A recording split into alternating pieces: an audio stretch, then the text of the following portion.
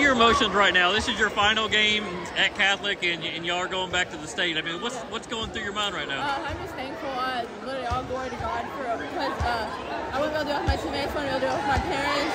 All these little kids running around supporting us. Uh, we have a great environment, so I couldn't be more thankful. The way you started the game, I never would have guessed you would have walked off the court with 30 Yeah. points tonight. How did you find your shot? I trusted myself and the work I put in. I trusted that me and my dad had worked really hard every day to prepare for this moment, and I knew that they would eventually fall, even if it wasn't first half or even like the third quarter, that they would come. I know you've been playing lately with like an apparatus on your hand. Was this the first game you didn't have it? Yeah, it's been bothering me. I've been in red light therapy all this week. Uh, I partly tore ligaments in my thumb, so my shot's been going about everywhere. Yeah. So it's been rough, but I always say it's how difficult it is to to defend a state championship.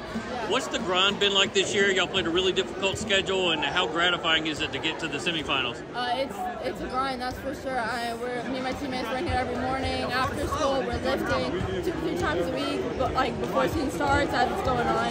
So we're putting work in, getting in shape, lifting, getting our bodies ready for this moment. Last thing, how special was that moment? You check out of the game, you're able to hug your parents there. Uh, I literally couldn't ask for a better coaching staff. I couldn't ask for a better high school experience. You know, do it with my family. So. Brought to you by SmartBank. Play smart, bank smart. SmartBank. For more information, visit smartbank.com.